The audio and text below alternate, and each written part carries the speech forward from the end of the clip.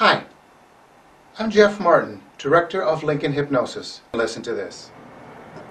Well, this is Dave from Lincoln, Nebraska, and uh, I've thought about quitting smoking numerous times, tried and failed numerous times, and I finally took a shot at uh, Lincoln Hypnosis. And after the first session, I totally lost any craving for a cigarette or to buy a cigarette. After the second one, uh, second visit, uh, it just kind of reinforced that. I have absolutely no craving after smoking two packs and smoking since probably about 18 years old. I'm 60 now. I don't have any urge to buy a pack of cigarettes or smoke a cigarette. My name is Melinda Gill. I'm from Lincoln, Nebraska.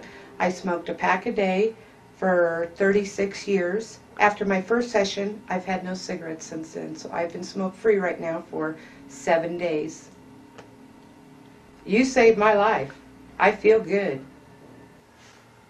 Hi, I'm Dale Gleaves, and Jeff has been working with me and helping me to uh, uh, quit smoking with hypnosis, and it's been a success.